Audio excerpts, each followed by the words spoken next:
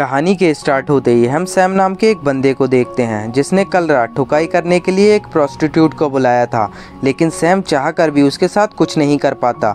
Actual में उसका डंडा खड़ा नहीं होता था, और उसे अपनी इस बीमारी की वजह से बहुत गुस्सा आता है, और वो अपसेट भी रहता है।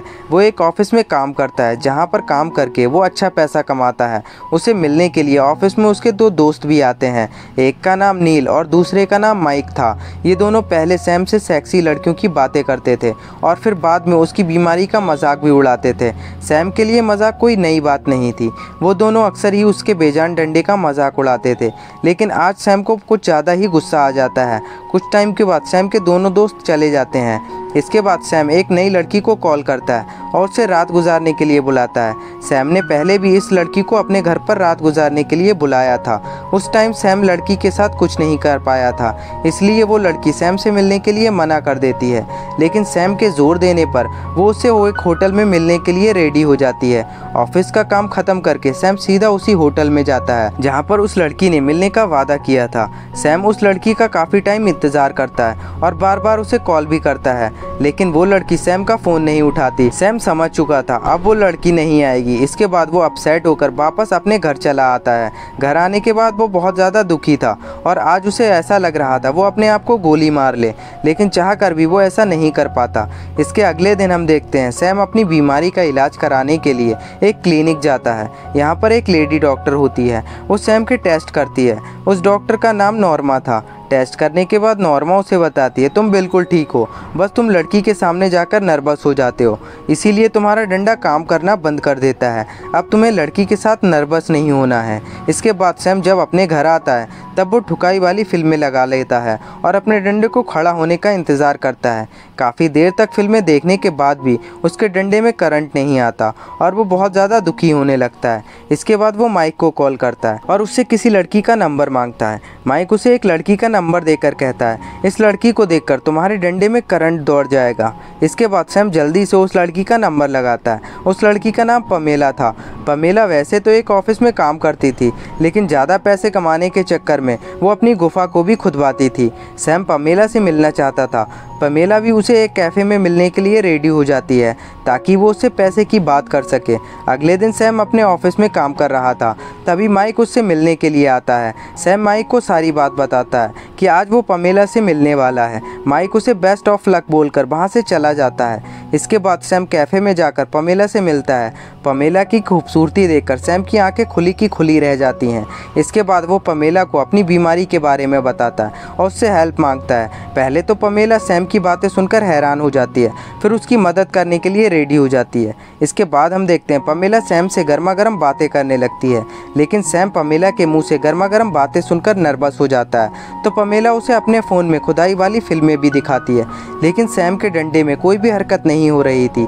इसके बाद पमेला सैम के साथ डांस करने लगती है जिससे सैम उसके साथ कंफर्टेबल हो सके। इतना सब करने के बाद भी सैम के डंडे में कोई भी फ़र्क नहीं आ रहा था। पमेला अब हार चुकी थी और वो सैम को वहाँ से जाने के लिए कहती है। इसके बाद पमेला किसी और लड़के के साथ वहाँ से चली जाती है। सैम पमेला को किसी और लड़के के साथ जाता देखकर उसे अपने आप पर बहुत ज़्यादा गुस्सा आता है। इसके अगले दिन हम देखते हैं, सैम फिर से डॉक्टर नॉर्मा के पास जाता है। वो उसे पमेला के साथ अपनी मीटिंग के बारे में सब कुछ बताता है। नॉर्मा कहती है, तुम पमेला की खूबसूरती देखकर नर्वस हो गए होगे, लेकिन तुम बिल्कुल ठीक हो। इसके बाद नॉर्मा सैम से पार्क में जाकर कुछ टाइम बिताने के लिए कहती है, जिससे सैम अपने माइंड को रिलैक्स फील करा सके। इसके बाद सैम पार्क में आकर बैठ जाता है। सैम जल्दी से अपने आप को ठीक करना चाहता था, जिससे वो लड़कियों के साथ खुदाई कर सके। इसके बाद सैम अपने घर आता है, तभी उसे माइक का कॉल आता है और वो उसे अपने घर आने के लिए कहता है। सैम काफ़ी अपसेट था, इसलिए माइक के घर जाने के लिए रेडी हो जाता है। सैम जब माइक के घर पर आता है, तब नील भी यहाँ पर था। ये दोनों टीवी देख रहे थे। सैम के आने के बाद वो दोनों सैम से पमेला के बारे में पूछने लगते हैं। सैम उन्हें बताता है, पमेला किसी दूसरे लड़के के साथ चली गई। ये सुनने के बाद वो दोनों सैम का मज़ाक उड़ाने लगते हैं। इसके बाद माइक सैम से कहता है, मैंने तुम्हारे लिए सरप्राइज़ प्लान किया हुआ है। इसके बाद वो कैश नाम की लड़की को अंदर से बुलाता है।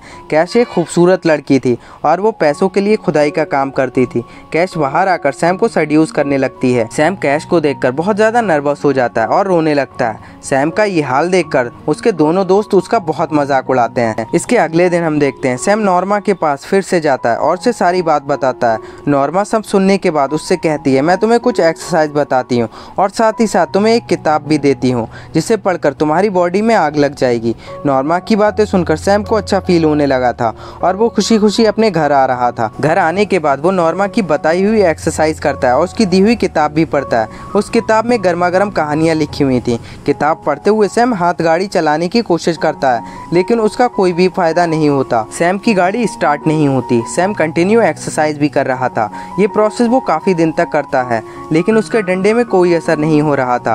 अब सैम को यकीन हो चुका था, वो कभी भी ठीक नहीं हो पाएगा और ना ही कभी शादी कर पाएगा। यही सब सोचकर वो पूरा दिन रोता रहता था और उसने अपने दोस्तों से भी मिलना जुलना छोड़ दिया था, क्योंकि वो अब उनका मज़ाक बर्दाश्त नहीं कर सकता था। एक दिन गुस्से में वो नॉर्मा को कॉल करता है और उसे कहता है, तुम्हारे सभी तरीके फेल हो चुके हैं। नॉर्मा उसे शांत होने के लिए कहती है और अपने पास बुलाती है, लेकिन सैम बहुत गुस्से में होता है और वो नॉर्मा के पास नहीं जाता। इसके बाद इस कहानी में एक ट्विस्ट आता है। एक्चुअल में सैम किसी ऑफ़िस में काम नहीं करता। वो एक मेंटल हॉस्पिटल में था और ये सब स्टोरी उसके माइंड में चल रही थी। हम लोगों ने जो कहानी देखी, वो सिर्फ़ एक इमेजिनेशन था और जिससे वो अपने डंडे की बीमारी का ट्रीटमेंट ले रहा था। वो एक्चुअल में उस हॉस्पिटल की मेन डॉक्टर थी, जो उन सभी मरीजों का इलाज कर रही थी। माइक और नील भी सैम के दोस्त नहीं थे। वो दोनों हॉस्पिटल में काम करते थे। वो सैम के साथ अच्छा बिहेव करते थे। इसलिए सैम उन्हें अपना दोस्त इमेजिन कर रहा था। सैम कैश नाम की लड़की को देखकर रोने लगा था। वो भी इस हॉस्पिटल में पेशेंट थी और इससे पहले वाली दोनों लड़कियाँ भी इस हॉस्पिटल की पेशेंट थी। उसने हॉस्पिटल के सभी लोगों को अपनी कहानी का हिस्सा बनाया हुआ था। सैम इमेजिनेशन में अपने आप को नामर्द समझ रहा था, लेकिन एक्चुअल में उसने कई लड़कियों का रेप करके उन्हें मार दिया था। जेल से बचने के लिए वो पागल होने का नाटक कर रहा था, लेकिन नॉर्मा को उसकी सच्चाई पता थी, इसलिए उसने सैम को ऐसी दवाइयाँ दी थी, जिससे वो चाह भी किसी लड़की के साथ खुदाई ना कर सके। इसके बाद वहाँ पर एक डॉक्टर आता है, जो नॉर्मा को बताता है। आज मैं इसे आखिरी डोज देने वाला हूँ। इसके बाद ये खुद को पूरी तरह नामौद समझने लगेगा और ये अपनी इमेजिनेशन में खुद को ठीक करने के बारे में भी ना सोच सकेगा। ये सब मिलकर सैम को उसके किए हुए की सजा दे रहे थे। इसी के साथ मूवी एंड हो जाती है। आई होप आपको एक्सप्लेनेशन अच्छा लगा होगा। अगर आपको वीडियो पसंद आया तो प्लीज़ इसे लाइक कर दीजिए और चैनल को सब्सक्राइब कर लीजिए। मैं मिलता हूँ आपसे अगले वीडियो में।